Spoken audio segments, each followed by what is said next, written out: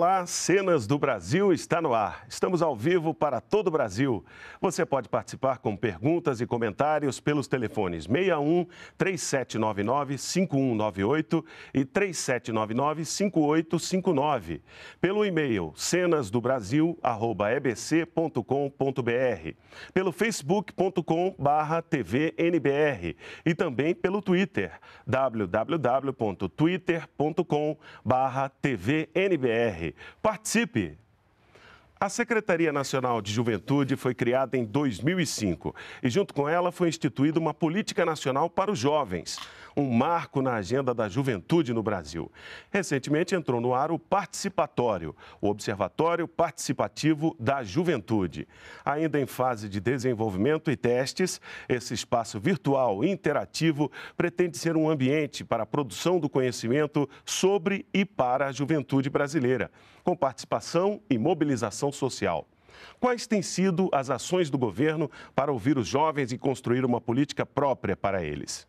Hoje vamos conversar sobre essas e outras questões com nossos convidados. Severine Macedo, secretária nacional da Juventude, e Max Maciel, coordenador-geral da Central Única das Favelas no Distrito Federal, a CUFA-DF. Boa noite, gente. Obrigado pela presença de vocês. Obrigado. Prazer recebê-los aqui. Antes da nossa conversa, vamos ver um vídeo institucional que apresenta o participatório. Participatório, Observatório Participativo da Juventude, é um ambiente virtual interativo voltado à produção de conhecimento sobre, para e pela juventude e também à participação e mobilização social. Inspirado nas redes sociais, quer promover espaços e discussões com foco nos temas ligados às políticas de juventude. Para isso, basta se cadastrar e começar a debater os assuntos que podem ser propostos por você ou por outros usuários do participatório. Interagem neste espaço, além dos jovens, redes, coletivos, movimentos sociais, gestores, pesquisadores, parlamentares e todos que queiram contribuir e integrar-se às discussões propostas. O que for debatido poderá auxiliar, por exemplo, para o aperfeiçoamento ou a criação de políticas públicas, legislação, produção de conhecimentos e outras questões relevantes para a juventude brasileira. Ele faz parte das ações de diálogo abertas pela Secretaria Nacional da Juventude com universidades, instituições de pesquisa, movimentos sociais e culturais da juventude e as representações juvenis já presentes em diferentes campos. O participatório não é uma rede de relacionamento. O foco é a troca de experiências, informações e conhecimentos. Essa é a oportunidade de você, jovem, ter voz. Nós queremos que você participe conosco e contribua com ideias e conhecimento para um país cada vez melhor. Para você que tem um monte de coisa na cabeça, conecte, converse, construa participatório.juventude.gov.br uma iniciativa da Secretaria Nacional da Juventude e do Governo Federal. Então, secretária, parece ambicioso, né? O que, que se pretende com esse participatório?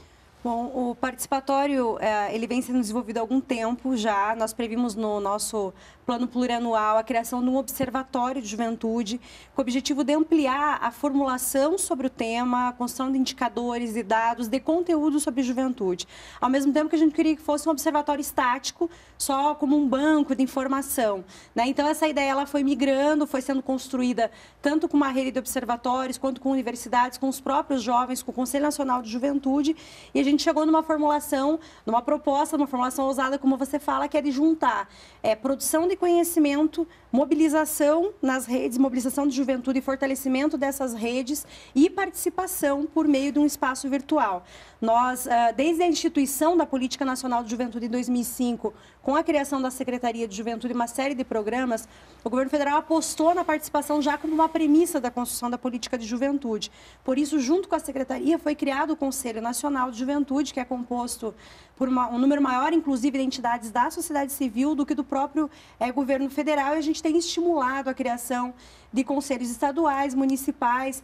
Realizamos duas conferências de juventude que mobilizou mais de um milhão de jovens na etapa de 2008 e na etapa de 2011. Mas a gente resolveu agora abrir um canal, além de fortalecer os espaços institucionais, como os conselhos, as conferências, as audiências, as mesas de negociação, um espaço interativo virtual de discussão pela internet, potencializando o que os jovens já vêm fazendo. Os jovens dialogam pelas redes sociais cada vez mais. As manifestações recentes que tiveram agora no país apontam isso cada vez mais. As pessoas usam esse espaço não só para trocar, para se relacionar, mas para se mobilizar. Então, o participatório, com este formato, não foi uma novidade agora a partir das manifestações. É importante registrar, acho que a gente já estava né, né, nesse, nessa construção desse diálogo. O que a gente quer é que ele seja um espaço para além de produzir conhecimento da sociedade para o governo, do governo para a sociedade nessa troca, ser um espaço de consultas públicas sobre temas de interesse da juventude, ser um espaço de troca entre os próprios jovens. Então, é, o Max, se estiver é, querendo pautar um tema que é importante para a CUFA ou para a sua comunidade, pode abrir um espaço de debate que a gente vai estar interagindo. Queremos poder mapear as sugestões, levar isso para os ministérios. Né? Ou seja, é um espaço que a gente quer potencializar outras formas de participação a partir da internet internet, né, potencializando esse canal. É óbvio que a nossa expectativa não é, é sanar todo o desafio que o governo federal como um todo tem de ampliar novos mecanismos de participação. Esse é um instrumento de diálogo com a juventude, com os temas de interesse da juventude, né? É, e dos temas que a gente também vai ter condição de abrir para consulta, para construção, por exemplo, o Sistema Nacional a presidenta Dilma vai estar sancionando o estatuto agora, dia 5 de agosto, o Estatuto da Juventude. Nós teremos seis meses para instituir um Sistema Nacional de Juventude, ampliando o papel dos estados e dos municípios na execução das políticas. Nós queremos abrir, pelo participatório, uma consulta para que os jovens opinem que sistema tem, como é que o sistema tem que ser constituído, qual é o seu papel, ampliar a responsabilização dos entes federados em relação ao tema. Então, ele é um mix né, é, que, que vai juntar essa ideia de é, é, produção de conteúdo, mobilização em rede e participação social por meio né, é, da internet, muito inspirado nas redes, como o, o vídeo apresentou. A gente não pretende, nem quer, nem acha que o papel do participatório é substituir qualquer rede atual. Ele deve estar integrado né, a essas redes, potencializando os debates que elas já vêm fazendo, mas é um espaço que permite a gente fazer uma síntese, porque a gente vai estar interagindo permanentemente com esses jovens.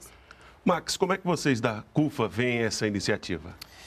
Então, primeiramente, boa noite a todos. Quero agradecer pelo convite, estar aqui. É sempre bom poder contribuir, principalmente com uma temática como essa, que é uma temática que a gente vem há mais de 10 anos fortemente trabalhando para que seja é, muito mais que debatida, mas executada nas suas esferas e que deixe de ser uma pauta negativa e passe a ser uma pauta positiva.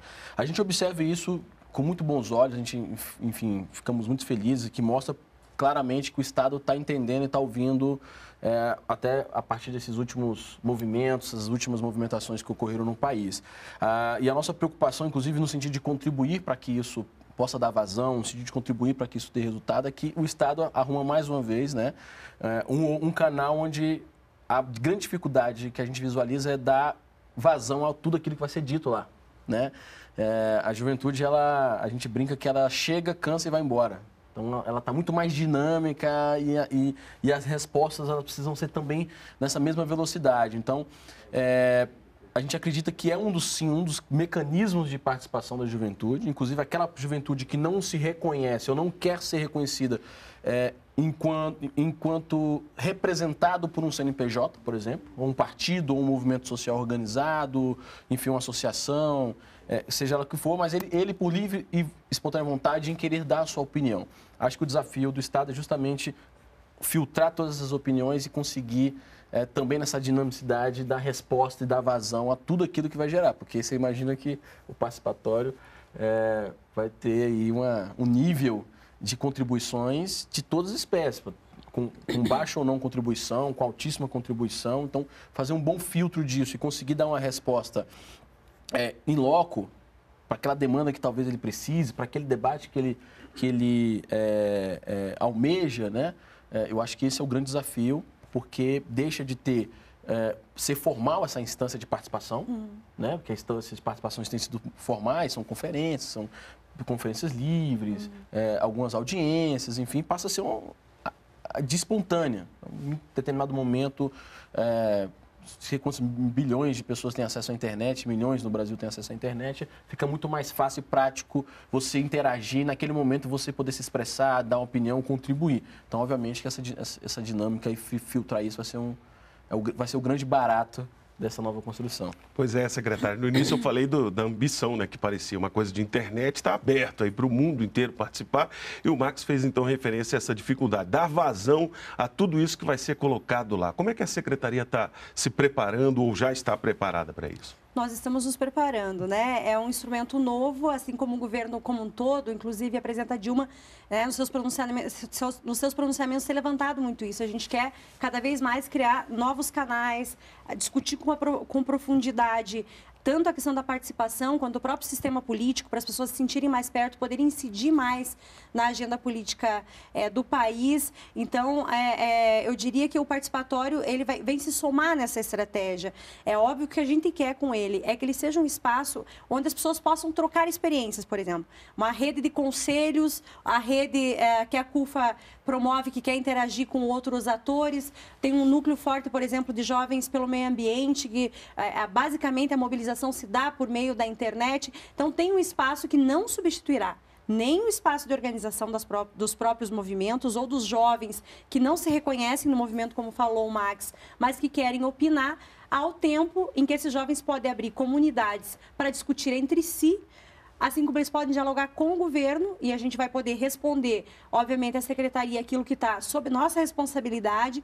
O que não estiver, a gente vai estar tá remetendo e dialogando com os outros ministérios.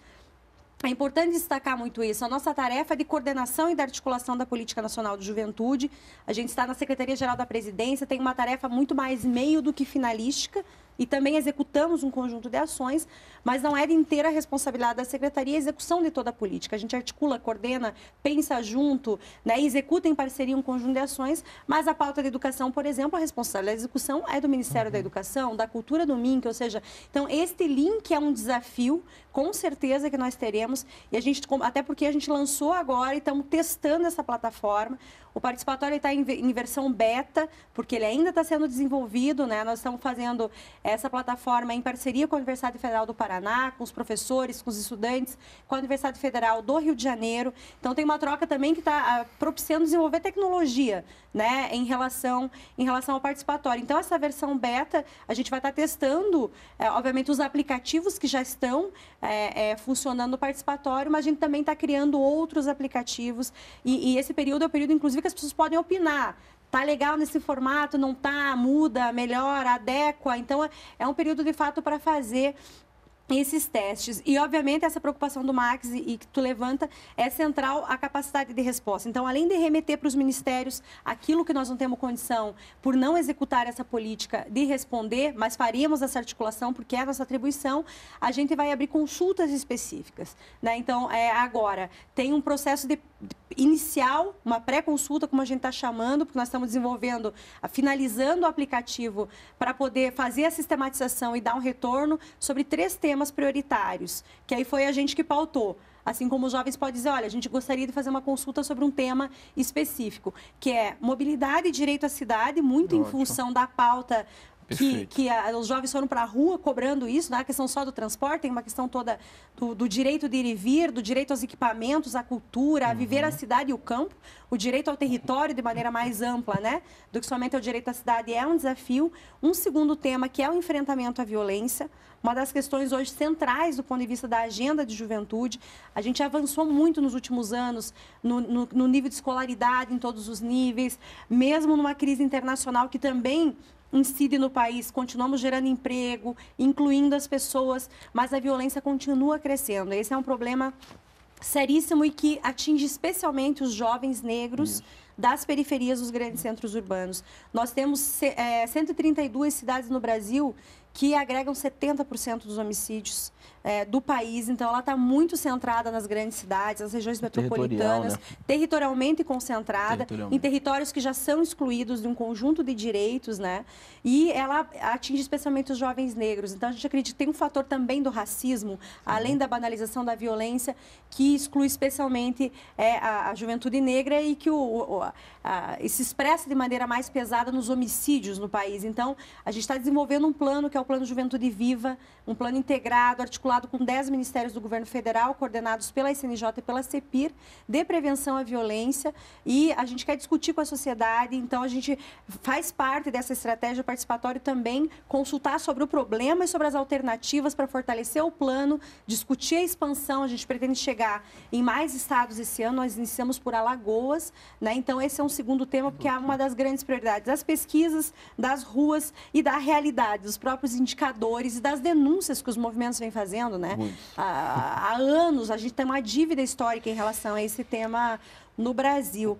E um Max, terceiro... você inclusive estava. Desculpa. Uh, desculpa, secretária. Não, eu falo bastante. É porque o Max estava falando desculpa, sobre isso, né? Sobre essa questão, é, antes da gente entrar no ar, sobre a questão do jovem que está morrendo efetivamente, é. né? Na verdade, inclusive, assim, só fazendo até uma parte na, na, na secretária Severine, que, que colega, né? Apesar de somos, somos colegas. É, justamente esse debate de que o, o, participatório é mais uma instância da construção de uma política pública, Isso. né? É, principalmente na perspectiva do controle social também. Quer dizer, é, se a gente, a, a, gente quer ajudar a formular, a gente quer ajudar a executar, a gente quer ajudar a avaliar, mas a gente quer permanentemente fazer o controle social, inclusive nessas instâncias. Assim, obviamente que pessoal, pessoalmente, institucionalmente, a gente defende, por exemplo, que a secretaria vira um estado de ministério. Que aí, isso por quê? Porque a gente sabe dessa demanda nós, enquanto base, observando, olhando para cima, dizendo o seguinte: olha, é, quanto é difícil você interagir, por exemplo, com a pauta do Ministério da Justiça na questão da juventude, sendo que a prioridade de alguns estados é não é criminalizar às vezes essa juventude. E quando se fala da violência, onde eu falo dessa criminalização, ela está basicamente é, e é comum a gente ver as políticas sendo desempenhadas em muitos municípios, é, onde ele fala, isso é muito clássico, assim, ah, nós vamos construir a praça esportiva porque a praça esportiva vai reduzir a violência. Para nós, isso é uma inversão do Estado democrático de direito para o Estado penal. Nós não queremos a praça esportiva para reduzir uma, uma, violência. A gente quer a praça esportiva porque é um direito nosso ter acesso ao esporte e ao lazer. Né? Mas é, essa justificação de sempre atrelar algo ou alguma política relacionada à juventude à questão da violência e da segurança pública, isso, isso nos preocupa, né? Não é o caso do Juventude Viva, muito pelo contrário, a gente conhece o Juventude Viva, é justamente desmistificar isso, mas a, a nossa preocupação é que sempre tem esse olhar, e às vezes esse olhar cola cola na mídia, cola com alguns movimentos, eles incorporam, reforçam isso, né? Ah, não, a gente precisa aqui de uma escola porque a escola vai reduzir a violência, precisa do centro de cultura porque vai reduzir a violência. Não, a gente precisa do centro de cultura porque é um direito nosso né? porque está garantido, é, é, é, enfim, explicitamente na Carta Magna que isso é um direito da população de ter acesso. Eu não preciso ter acesso porque eu simplesmente estou morrendo. Né? Então, assim, é, essa é uma preocupação que a gente bate bastante, reforça bastante. A gente não gosta de ver isso nos textos que algumas pessoas, inclusive discursos públicos, costumam a fazer, achando que isso é, não, ó, tá vendo, vamos reduzir a violência. Muito pelo contrário. Como a, a secretária bem diz, é, o foco da violência juvenil é territorial. Né? Se você faz um recorte, ele está ali. Se brincar, ele está inclusive em, em, bairros dentro desse. Então, ele, ele, tem um foco específico que ele não é atingido. Esse foco específico está justamente em comunidades em mais desvantagem social nesse país. É, só no Distrito Federal, por exemplo, temos mais de 740 mil jovens, uma, uma população aproximadamente de 2 milhões. A gente é um, um, um grande número. Né? Quer dizer, ela precisa ser reconhecida para além. Né? E quando eu falo jovem, é engraçado, é, que isso também foi uma coisa muito interessante quando a gente fala da questão da violência. A gente conseguiu no Brasil reduzir a mortalidade infantil. Foi um tema debatido bastante na década de 80, no início da década de 90, né? Então hoje a gente salva a criança. A gente tem salva, conseguido salvar essa criança. Só que ele tem morrido na juventude. Então aquela criança que não morreu na infância, hoje ela morre na juventude. Então meio que mudou, porque a gente não conseguiu fazer isso uma pactuação integral da atenção a esse jovem. Então a gente focou na criança, porque é uma, uma demanda legítima dos movimentos sociais na época, importantíssima para o processo. É, contudo, a gente não observou. E isso, inclusive, grande parte dos movimentos sociais tem uma parcela de contribuição nisso. Por quê? Se a gente busca quais são os projetos hoje desenvolvidos pelas organizações que têm como foco, por exemplo, jovens de 18 a 29 anos. Né?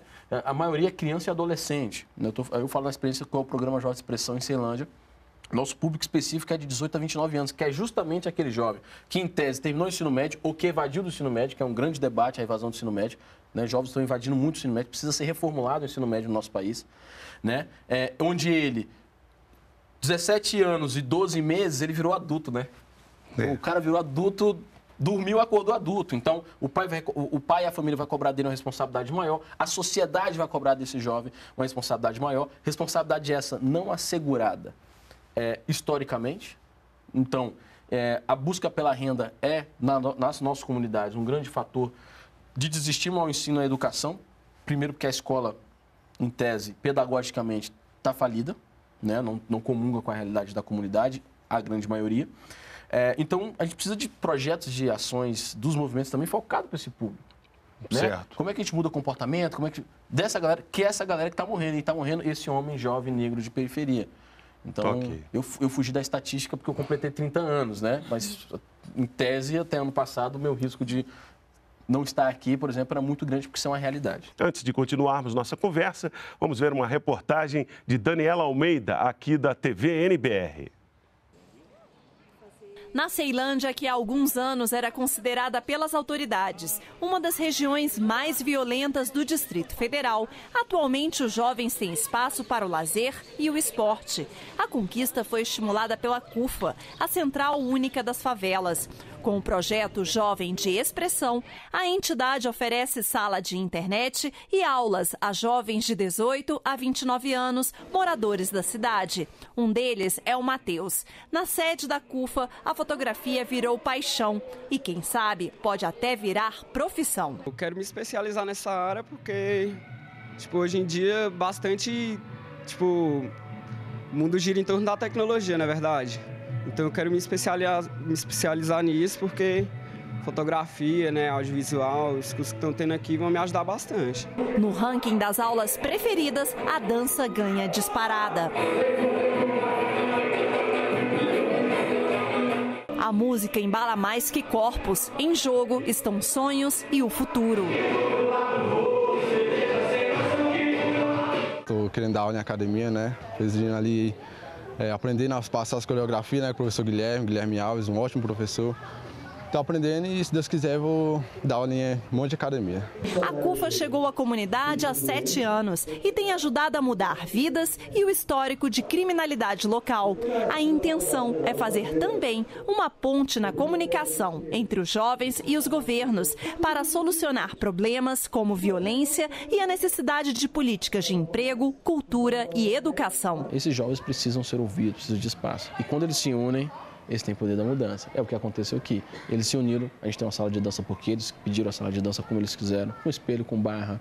É, eles começam a partir daqui a andar pela cidade, visualizar outros olhares né? Quer dizer, olha, não, não, dá para jogar lixo na rua porque o espaço é meu também. Você começa a trabalhar essa mudança de comportamento a partir daí. Se a juventude quer falar, reivindicar direitos e ter melhores serviços públicos, o governo federal está disposto a ouvir mais essas vozes. Por isso, lançou a primeira versão do participatório, como é chamado o Observatório Participativo da Juventude.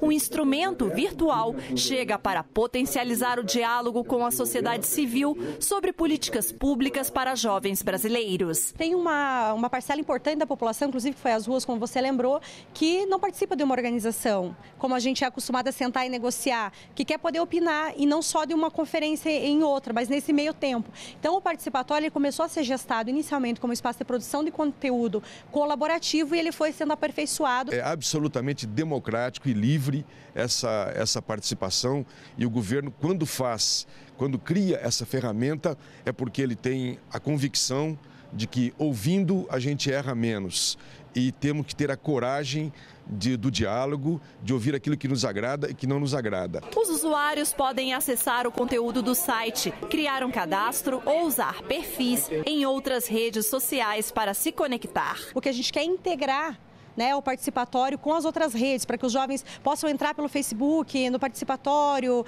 divulgar o que o participatório está discutindo no Facebook, no Twitter e vice-versa. Mas nós não vamos competir, não queremos, não é esse o objetivo, é ter um canal a mais de diálogo sobre juventude no Brasil. No primeiro mês de funcionamento do participatório, vai ser aberta uma consulta pública com quatro temas: enfrentamento da violência, mobilidade nas cidades, reforma política e estatuto da juventude saúde. Este último tema vai poder receber sugestões após a sanção da presidenta Dilma Rousseff. Estamos de volta. Secretária, eh, no primeiro bloco eu interrompi a sua, a sua fala, né? E você estava colocando uma questão de uma terceira consulta pública que vai ser feita agora, não é isso? Isso, nós estamos, estamos às vésperas da sanção do Estatuto, que é uma conquista de quase 10 anos, uhum. é, é, de uma geração inteira que estava reivindicando uma legislação específica que ampare a execução das políticas públicas no Brasil. Será sancionado pela presidenta agora no dia 5. E aí nós teremos a responsabilidade de elaborar um sistema. O Estatuto é uma grande declaração dos direitos dos jovens. A gente fala que os jovens são sujeitos de direitos e o Estatuto ele define quais. O direito ao território, a mobilidade, a segurança, o meio ambiente, a participação. São vários temas do ponto de vista dos direitos. Mas o, o legal do, do, do Estatuto é que, além dele definir o que é ser jovem, definir os direitos, ele também aponta a responsabilização do Estado para a execução dessas políticas. Não basta dizer que temos que ter direitos assegurados. Como se executará essas políticas, né? Então, o sistema vai ser a, a base da definição do papel, do, a melhoria da definição do papel do governo federal, dos estados e municípios, a institucionalização da criação dos conselhos, de outros espaços de participação social, a definição do orçamento para a execução da política. Então, a gente quer abrir, agora, a partir da sanção, um espaço de consulta para que os jovens opinem também sobre esse sistema. Nos ajudem a fazer o debate com as prefeituras, com os estados. Óbvio que a gente vai fazer esse diálogo direto com os gestores, direto com os conselhos, mas queremos ouvir a opinião dos jovens, que, como falou o Max no início do programa, não necessariamente participam de alguma rede, mas querem opinar individualmente sobre, esse, é, sobre essas questões. E uma outra temática que, a gente tá, que já está aberta para o diálogo é sobre a reforma política. Né? Um grande tema que está em debate na, na sociedade, a sociedade toda reivindica né, é, é, mais representação, maior proximidade, não só uma democracia representativa, mas participativa, ou seja, aprofundar a discussão acerca da reforma política com a opinião dos jovens vai ser fundamental, especialmente porque eles não se sentem representados pelo atual sistema político, né? Então, que mudanças são necessárias nesse sistema para que os jovens não só é, é, possam incidir sobre ele, mas estar lá, estar na Câmara, estar no Senado, é, é, estar na, na, no Executivo, ou seja, que sistema é possível para ampliar, inclusive, a participação direta desses jovens. Então, esse é um outro espaço aberto. Então, a gente quer agora a, a, a, garantir um mês de, de consulta a respeito desses temas, mas independente das consultas nessas temáticas, tem vários eventos várias discussões que as pessoas já abriram e a ideia é essa, assim, que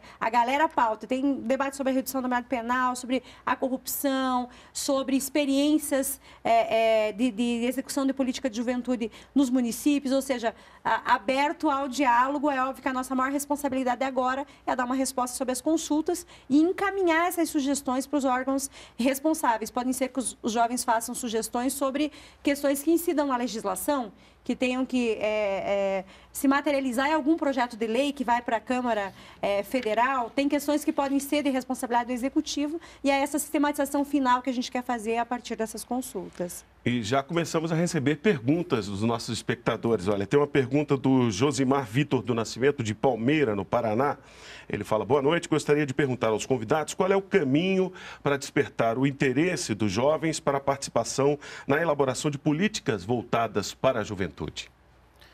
Bom, Josimar, eu acho que falar da minha contribuição é primeiro que nesse momento, assim, da, é, principalmente aquela juventude de 10 anos atrás que, em tese, sempre participou de movimentos, né, e hoje essa não participa organicamente de um movimento, a, a, o principal caminho é ouvir essa galera escutar e se aproximar dos, dos agrupamentos que elas estão hoje é, desvinculando. Por que digo isso? Porque é comum hoje a gente, o mundo adulto, como se dizem, dizer que o jovem de hoje é um jovem que está alienado, está de boa, não se interessa por política, não se interessa por mudança. Eu discordo, eu acho que o momento mudou e nós não conseguimos acompanhar esse momento. Na verdade, a gente não está conseguindo ouvir as novas demandas, ouvir é, os, as novas formas de se organizar e as novas formas de participar. E aí, eu, no qual eu parabenizo, que é, quer dizer, se criar um, um, um, sistema onde ele possa participar, além do que é o formal, é um dos caminhos, viu, José? Então, eu penso que tem que começar a propiciar esses jovens, esses espaços. Eu, enfim, gostei de ver a matéria de jovem expressão, que é mais ou menos aquela prática. Quer dizer, a gente tem que começar a mudar esse discurso, por exemplo, de tirar o menino e o jovem da rua, né? Né? Vai, vai botar quem então? Tira, fica onde? Né? Eu acho que nós temos que ocupar a rua, nós temos que transformar a rua num espaço saudável, é, num espaço agregador, de feliz, de vivência. Esse espaço propicia esse jovem a se organizarem, a se aglutinarem e ali a fazer a participação. Por quê? Ao vivenciar a, a comunidade, ao, vive, ao vivenciar a rua, eles vão poder claramente começar a observar melhor e cobrar melhor, e cobrando melhor, fazendo parte do sistema e se interessar, quem sabe, a discutir. Eu penso que o caminho é ouvir essa galera, interagir com eles e tentar entender qual é a melhor forma que eles estão querendo participar e não a gente querer dizer qual é o melhor caminho. Então, secretário. Eu acho que o caminho é por aí, é chegar onde esses jovens estão, né? Durante o período de implantação da política nacional, do início da formulação da secretaria, do conselho, no projeto uhum. Juventude, as organizações que vêm historicamente pautando esse tema pautavam muito a, a, a seguinte, o seguinte slogan: a política não pode ser para a juventude, ela tem que ser de, com e para. Parece que está ultrapassado, é um, é um jargão que a gente usou muito tempo, mas não está tão ultrapassado assim, na medida em que ou a gente fala pela juventude, ou a gente acha que os jovens não querem vir porque eles não veem onde a gente está. Né? Isso que o Max fala é muito, é muito real. Então, o jovem está na escola, ele está na comunidade, ele está na rua, ele está no meio rural, que é um, um, segmento que é difícil de fazer esse diálogo. Eu venho do, do campo né? É, é, e já vivenciei efetivamente na pele né? É, esse distanciamento territorial, inclusive, assim como os jovens das periferias muitas vezes tão, é, é, têm menos acesso tanto ao poder público, aos equipamentos públicos. Né? Então, acho que as estratégias têm que ser as mais variadas possíveis no sentido da aproximação e e dialogar a partir dos próprios interesses dos jovens. Então, as redes sociais, sem dúvida nenhuma, são um instrumento, mas também tem os jovens que se organizam e também tem os jovens que não estão afim de participar, mas querem opinar no próprio, no próprio lugar, local, local de origem, no seu próprio local de atuação. Então, acho que não há uma receita única. Eu acho que há que potencializar os espaços e criar novas formas de estímulo, sempre pensando do jovem para a gente, né? Eu, é engraçado falar isso, mas ah, acabamos de passar, né, Max, dessa faixa etária dos 29, né? né? Então, é, é para a gente não reproduzir o erro de achar que falando para é, essa galera a gente vai estar representando e conseguindo assimilar todas as demandas, porque as demandas são múltiplas. Não é só a educação, a educação é sempre um dos principais pontos de preocupação dos jovens, mas né, é a questão do enfrentamento à violência, mas tem um jovem que quer discutir a cultura, que quer discutir o meio ambiente, quer discutir a melhoria da sua comunidade local, que se organiza num grupo de voluntariado para isso, uh, que se organiza pela sua própria religião ou por não ter uma religião. Então, as formas de participação são múltiplas, as demandas são múltiplas, por isso que é tão complexo, né? E não dá para dizer que é uma receita única e que tem que entender um pouco melhor esse mundo juvenil aí que a gente vivencia. O jovem quer também saber de política, sim, né? Sim. Nós temos aqui a participação de Mandaguari, no Paraná. Quem faz a pergunta é o Edgar Santos de Assis. Ele pergunta o seguinte: vocês acham que se o jovem participasse mais das questões políticas do Brasil, mudaria o cenário nacional ou não? Claro. Claro, né? Ninguém pode discordar. Está participando, é, né? que não, mas eu acredito que ele está participando, né? De alguma forma ele está participando. Eu, eu, acredito que o que aconteceu a partir do dia 16, 17 de junho foi, na verdade, um estopim da ausência de escutar como esses jovens estavam, quer dizer, estão gritando de alguma forma. Às vezes a gente nega é, isso porque nós estamos acostumados e atrelados a entender o padrão formal de participação. Né? Ou ele tem que estar vinculado a um partido, ou ele tem que estar vinculado a uma associação. A gente tem que frisar isso porque isso mudou. Está na cara que mudou. Está óbvio que mudou.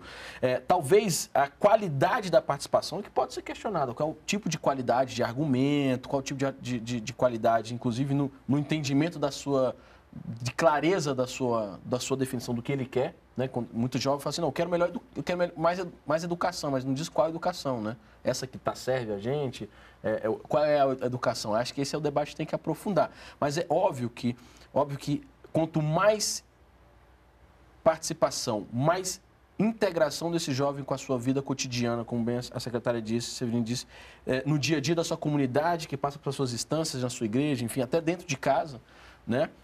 É, mudaria, sim. A questão é que, é, pelo conjunto da sociedade e o conjunto do parlamento nosso, a gente dá crédito e qualifica essa, essa, essa fala? Ou a gente ainda diz que é coisa de, de menino revoltado, vai estudar, ou ele não sabe o que está dizendo? É, isso, isso é comum de dizer também como aconteceu com essa manifestação. Você vê milhares de jovens indo para a rua e algumas pessoas dizendo ainda, eles não sabem o que estão falando, eles não têm o que dizer. Como não? Milhares de pessoas na rua, é óbvio que eles têm o que dizer. E, obviamente, que o que eles fizeram já mudaram, já impactaram no dia a dia do nosso Congresso, já impactaram no dia a dia das nossas políticas, né?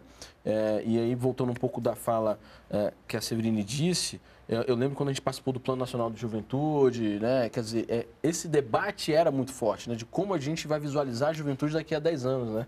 É, só que a gente não consegue prever, é, enfim, como ela vai estar. Acho que a gente tem que estar sempre disposto a mudar, a ouvir e avançar sempre.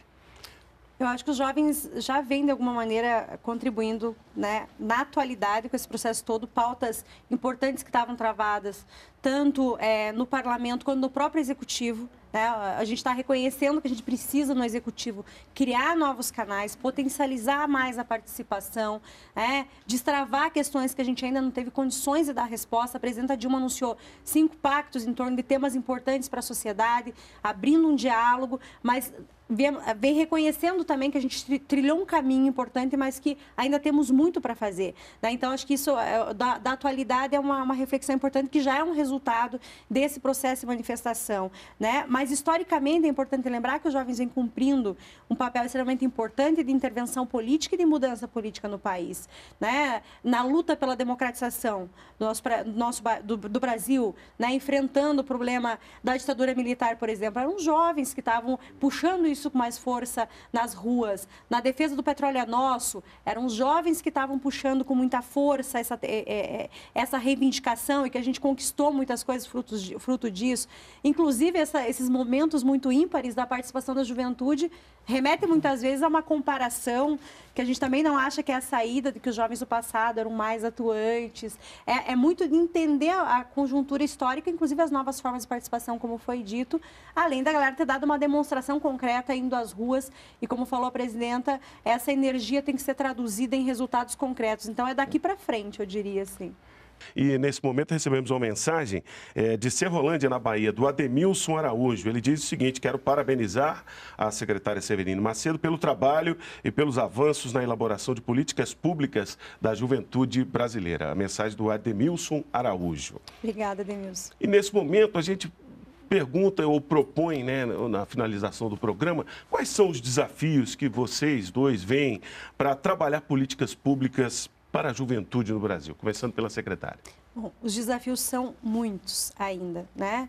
Nós, se, for, se formos comparar o Brasil com outros países, a gente é muito mais recente esse tema entrar para a agenda do Estado brasileiro. Foi só em 2005. Tem países do mundo que tem mais de 20 anos instituído políticas próprias. No entanto, o Brasil já é modelo em um conjunto de temas. Então, a velocidade também foi muito rápido. É, a, a, agora, apenas que a gente conquistou a aprovação do Estatuto da Juventude. Em 2010, que o tema juventude entrou para a Constituição Federal. Nós teremos agora a responsabilidade de elaborar o plano e o sistema. Então, ainda tem um, um, um conjunto de iniciativas do ponto de vista do fortalecimento institucional bastante forte. Isso é um desafio. Inclusive, para essa ser uma agenda que os prefeitos, que os governadores assumam com mais força, assim como o governo federal, naquilo que a gente não conseguiu cumprir, que são muitas as tarefas. Uma segunda é aproximar efetivamente a política pública e fazer com que ela chegue no território. Acho que esse é um, é um desafio enorme. Nós tivemos, temos quase 2 milhões de jovens já inseridos no ProUni, o Pronatec com uma meta enorme, né? Uh, temos avançado na, na, geração de emprego, mas nós temos muitas vezes jovens que não sabem ainda que essas políticas existem ou que elas chegam desarticuladas nos territórios, né? É, e esses jovens não conseguem, especialmente os mais pobres, os jovens das periferias, a juventude rural, acessar essas políticas e ampliar seu leque de opções. Acho que esse é um, é um outro desafio enorme, além da gente conseguir a, ah, integrar mais a agenda do ponto de vista do governo federal. Isso parece burocrático, mas não é, porque às vezes a gente sobrepõe esforços, sobrepõe energias né, é, e avançar efetivamente no, num olhar da política de juventude para a promoção da autonomia e da emancipação. A inclusão e a proteção, acho que a gente tem avançado bastante, mas nós precisamos agora fazer com que essa essa, esse reconhecimento dessa diversidade incida na superação de alguns problemas que a gente ainda não superou no Brasil. Eu acho que esse é o nosso maior desafio hoje, para além desse que a gente citou, e de fortalecer a participação direta, com participatório e com outros instrumentos, que é, é o enfrentamento à violência, que é o enfrentamento do problema do trabalho decente é, e que é colocar a agenda dos jovens que ainda vivem numa situação de invisibilidade com mais força, como o caso dos jovens rurais, como o caso das jovens mulheres. Né? Então, esse é um outro esforço que a Secretaria tem feito, né, não só com o Plano Juventude Viva, que é o de enfrentamento à violência, está elaborando um programa específico voltado para jovens rurais, que são quem mais migra ainda hoje né, da, do, dos, dos, do meio rural para os grandes centros é, urbanos. Nós achamos que o jovem quer ir para a cidade tem que ir, mas se for um desejo dele, não por falta de condições de ficar no espaço rural. E nós temos ainda um conjunto de problemas relacionados em que pese toda a geração de emprego que a gente tem conseguido, de alta rotatividade, de informalidade, de precarização do trabalho juvenil, que é mais forte do que os outros segmentos. Isso abarca especialmente as jovens mulheres e negras. Né? Então, a gente tem essas características aí da, da, de uma população juvenil que vem sendo é, preterida historicamente, que a gente precisa colocar no centro da agenda. E esse é o nosso esforço aí no próximo período, né, junto com o fortalecimento da participação. Max, como é que vocês vivenciam esses desafios de propor políticas para a juventude? Vocês da CUFA, naturalmente. Primeiramente dizer que perfeito, né? É isso, assim. É, é, no, o nosso entendimento, inclusive nacional, de fato, é, é fazer com que essa temática, de fato, seja nacionalizada né, federalizada, assim, enfim, quer dizer, está de fato no território, no loco no território, em todo o país, quer dizer, é, estados hoje que ainda não tem uma coordenação de juventude, não tem uma secretaria de juventude, é, ou ela está atrelada a, a, segundo plano de uma outra secretaria, não tem uma priorização é, da temática. Então, o, nosso, o desafio é ter uma priorização temática nacional, nos estados, que seja um compromisso, assim como o governo federal fez, também nos estados e municípios, seja um compromisso de, de, de, de assumir essa meta, tomar para si esse diálogo e cumprir essas, essas, essas ações. E, obviamente, a questão do território também, para a gente, a gente super concorda é, de fato, dentro das nossas comunidades, existe o excluído do excluído, quer dizer, é justamente aquele, aquela faixa invisível que é lá que a gente precisa atender, que a gente precisa ter uma motivação triplicada, uma atenção triplicada. Esse é, vai ser o grande desafio. O nosso objetivo enquanto sociedade civil não é substituir o Estado. Nós não queremos ter uma, uma unidade que se equipare em qualidade superior ao Estado, jamais. Nosso objetivo é dialogar com o Estado, apontar o Estado onde estão avançando, apontar onde estão errando e cobrar de fato que isso seja permanente. Então, é, assim como no Distrito Federal é, foi agora é, sancionada a lei distrital da juventude, que isso é um grande ganho para nós. Quer dizer, a, a, coordenação de juventude do DF está fazendo um ótimo trabalho nesse sentido. Quer dizer, você imagina, Distrito Federal com 53 anos, agora nós, nós, nós que é a capital do país, só agora que tem é, essa, essa política, essa atenção justamente porque foi um, um compromisso assumido e que, se, e que se espera que não vire uma política de, de governo, mas uma política de Estado. A juventude tem que ser a prioridade. Obviamente que daqui a, a, aos próximos 30 anos vai ter um declínio desse, dessa faixa populacional, esse boom populacional é, de juventude. É, e, enfim, a gente não quer que a gente, enfim, passe essa geração simplesmente achando que foi uma geração perdida, foi um, um vácuo, um buraco, um hiato é, na história. Muito pelo contrário, que essa juventude sofre é justamente o hiato, o buraco de uma ausência de políticas desde de 30 anos, 20 anos atrás. Nós não podemos é, permitir isso. Então, o nosso desafio é, é fazer isso, quer dizer, é contribuir com a Secretaria Nacional, como a gente vem contribuindo, sempre que a gente pode, o máximo possível, a estar, inclusive, na ponta, direcionando essas políticas, contribuindo para essa eficácia é, do atendimento, mas, obviamente, nosso objetivo não é substituir o Estado. Então, o Estado, a gente ainda cobra e continua cobrando que o Estado é que tenha todos os equipamentos, ocupe e qualifique esses espaços públicos não, né, e, e torne a juventude sempre do ponto de vista positivo e não do ponto de vista negativo, criminal. Pois é, a gente viu aí essa questão do jovem participando, voltando a participar, acordando, né, como foi colocado nessas manifestações, e a gente viu também os políticos e também o governo querendo entender o jovem. Você disse no programa, Max, que o jovem sabe o que quer. Né? Agora eu pergunto, ele sabe como se manifestar, como expressar essas suas necessidades, essas suas vontades? De repente, o parlatório pode ser um canal? É, eu só quero dizer que é, a juventude de hoje que está, enfim, com 22, 17, 18 anos, que em massa que estava na rua, é que há 10 anos atrás, quer dizer, está acompanhando um processo histórico de mudança muito importante no nosso país. Então, eu acredito que ele acordou por isso. Ele acordou porque agora o acesso à universidade não é mais um, um, um grande problema. Enfim, a gente tem uma série de políticas que têm voltado para ele. Eu a, falei parlatória, participatória, é, né, secretário? A, a minha observação, enquanto parlamento, é que ele se distanciou tanto dessa juventude que ele não conseguiu acompanhar. Né? Então, a minha observação é que é, o distanciamento foi esse. Né? Eu acho que a juventude tem sim, sabe sim o que quer, no sentido, talvez não esteja clareza que nós para entender, assim, pô, eu quero entender melhor. Então, acho que nós temos que reaproximar dessa, dessa molecada, reaproximar dessa juventude, ouvir, dar mais participação, reconhecer essa participação, que, é, que muita gente fala assim, poxa, mas a gente não sabe é, o que eles querem dizer. Então, você ouviu, de fato você ouviu, de fato você entendeu, você quer entender, você foi lá. É, muitos, inclusive, estados têm medo de uma reação dessa, não quer dialogar, prefere brocar, bota ali as, as suas barreiras invisíveis e visíveis para que essa juventude não tenha um diálogo muito próximo, que isso pode gerar é, um problema. Esse distanciamento é geracional também, a gente acredita que é um distanciamento geracional, e que houve esse ano uma ruptura muito importante no nosso país e que começa a provocar melhor. Essa, essa galera não está mais para brincadeira, eles têm opinião, sabem o que quer sim, talvez não, não de forma organizada, que eu acho que esse é o, o debate, assim, que os estados sempre falam assim, bacana, quem é o líder da manifestação para a gente negociar? E não tinha líder, todo mundo ali era horizontalmente com a sua pauta, sua reivindicação.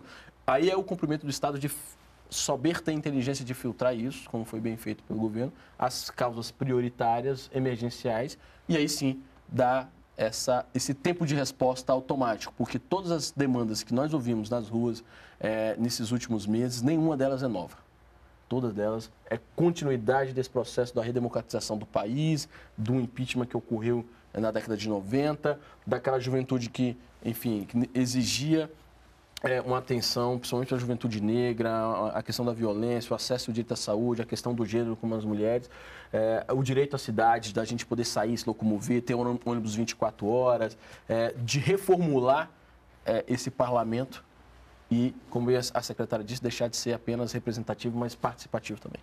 Pois é, eu falei que o participatório pode ser um, um, dos canais, mas o participatório sugere, inclusive, a participação nas ruas, né, secretária? Como é que vai ser isso? A secretaria vai participar também desses movimentos na rua, no local?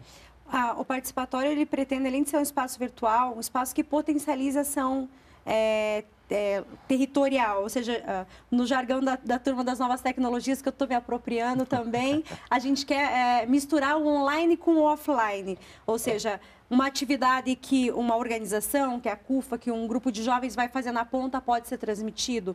O vídeo pode subir, mas para além disso, a gente quer fazer debate na rua, no território, com os jovens e fazer com que aqueles que não vão estar presentes possam interagir discutir, acompanhar, assistir a, o, o, a sanção da presidenta Dilma é, no Estatuto da Juventude dia 5 vai ser transmitido pelo participatório. Então, quem não vai poder estar no Palácio Planalto vendo presencialmente, vai poder estar acompanhando, além de pela NBR, claro, pela internet, né, pelo participatório. Então, a, a, a gente quer poder fazer essa síntese, porque no nosso entendimento não está superada a forma de manifestação na rua. Não está, ela vai se reforçar, ela é importante. O país avança na medida que as pessoas se mobilizam, pautam temas que muitas vezes o governo não consegue resolver imediatamente, porque é isso, a gente tem demandas históricas reprimidas, temos avançado muito, mas a resposta não é automática, né? ela precisa ser é, é, construída.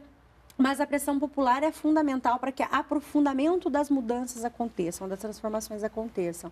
Né? Então, eu não acredito que a internet substituirá um processo de mobilização, mas ela potencializa, ela é um outro jeito que veio para ficar numa parcela importante da população que quer opinar desta forma. Então, acho que é uma junção que envolve não só metodologia, novas tec... Eh, eh, só novos métodos de diálogo e participação, mas também de conteúdo. Quando o Max fala nenhuma dessas pautas são novas, é verdade, elas vêm sendo discutidas há muitos anos, mas elas tomaram uma dimensão mais forte no momento histórico da nossa, da nossa atualidade. De, de, mesmo com esse número enorme de jovens nas ruas, nós tivemos duas conferências nacionais que mobilizou mais de um milhão de jovens para discutir política pública de juventude.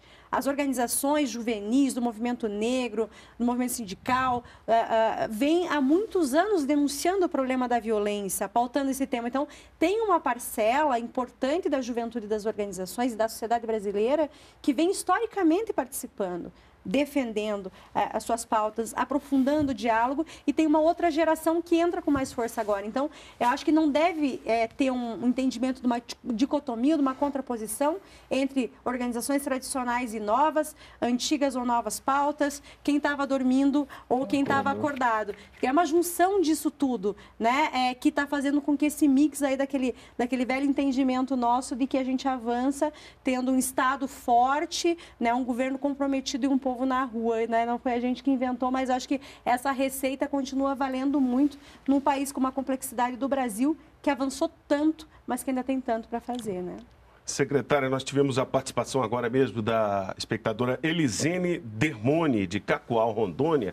Ela quer saber mais informações sobre o participatório. Como é que ela pode acessar, participar, enfim. Bom, agradeço bastante a pergunta, porque a gente está aí nessa fase de teste e já está. Tem muita gente participando, estão quase, são quase 7 mil jovens já interagindo na comunidade. Então, é, é, você, ela pode entrar no participatório.juventude.gov.br. É, só tem que se cadastrar com o seu próprio e-mail ou com a, a, o login do Facebook.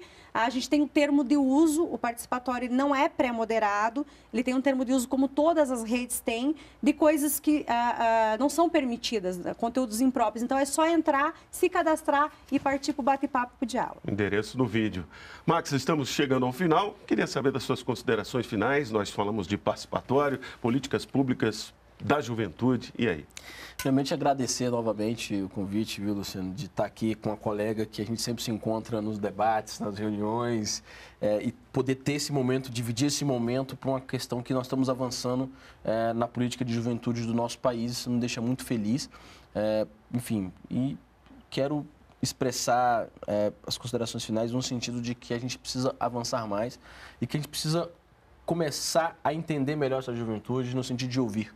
E aí, desde casa, com os pais e com seus familiares, ah, aos seus coletivos organizados, aos professores dentro de sala de aula, ah, à vizinha na sua comunidade, a compreender que esse jovem ele tem muito mais potencialidade do que uma negatividade em si, né? Então, ao invés de ligar o 190, vamos tentar fazer um movimento para que tenha lá o centro cultural na cidade, para que ele participe do participatório, que ele, é, enfim, seja empoderado. Né? A gente precisa dar a esse jovem o prestígio, o reconhecimento social e o status que ele merece. Né? Então, se o crime consegue dar isso a ele, nós precisamos fazer com que a escola dê isso a ele, que os movimentos dê isso a ele, que a comunidade dê isso a ele, e não, é, enfim, ser apenas, é, simplesmente, uma estatística no nosso país. A gente quer ver isso sanado. Então, quero mais uma vez agradecer, dizer quem tiver a fim de conhecer mais a CUFA no Brasil e no Distrito Federal, é www.cufadf.org. Contribua com a gente, dê sua opinião também, participe. Quem é de Brasília pode visitar alguma unidade nossa, é, enfim, ficar à disposição de somar. cufadf.org, endereço na tela, secretária. Agradecer ao espaço, o debate, Luciano, Max, com todos que interagiram com a gente aí dos seus estados. É, nosso grande desafio é responder à altura a demanda de mais 51 milhões de jovens de 15 a 29 anos é, no país. Né? A juventude tem um peso econômico, social, político e cultural muito importante. Reconhecer esses jovens como sujeito de direitos, o Estado está conseguindo avançar e acho que potencializar o seu papel para o desenvolvimento local, sustentável, nacional, é um dos nossos desafios, com o Estatuto, com o plano, com o sistema, com novas formas de participação. Vai depender muito do papel que os estados e municípios também vão jogar nisso e da própria sociedade em continuar nos pressionando, nos pautando, dizendo onde está certo, onde está errado e contribuindo com a elaboração das políticas do Juventude Viva, o programa de Juventude Rural, o próprio participatório foi construído com a participação das organizações juvenis e a gente espera criar e aprofundar mais esses canais, tanto dos conselhos, as conferências e com o participatório, né, é, é, entrar de fato nessa nova era de novas formas de participação. Então, eu queria agradecer o espaço e, e é, convidar todos né, que possam é, nos ajudar nisso, opinando, criticando, construindo. Né, é, essa agenda é nossa e é uma tarefa de toda a sociedade brasileira potencializar a juventude e não criminalizá-la. Não significa dizer que a gente tem, não tem problemas, tem, e a gente está tentando enfrentá-los. Mas a gente acha que com a participação do parlamento, do executivo, do sistema de justiça, da própria sociedade, dos jovens organizados e não organizados, a gente tem tudo para avançar, porque o Brasil já vem avançando. É aprofundar essas transformações. Então, obrigada. Eu que agradeço participar, qualificando o debate, importante isso, né? Bom, Cenas do Brasil vai ficando por aqui. Hoje falamos sobre Política Nacional da Juventude. Agradecemos a presença dos nossos convidados, Severine Macedo, secretária nacional da Juventude, e Max Maciel, coordenador geral da Central Única das Favelas no Distrito Federal, CUFA DF. Agradecemos também a sua audiência e a sua participação. Você pode rever os Cenas do Brasil no YouTube, www.youtube.com/tv TVNBR. E pode mandar sua sugestão para o nosso programa pelo endereço eletrônico cenasdobrasil.ebc.com.br, pelo facebook.com.br barra TVNBR ou pelo Twitter no www.twitter.com barra TVNBR. Sua opinião é muito importante para nós. Na semana que vem, novas cenas, novas questões. A gente se encontra. Até lá!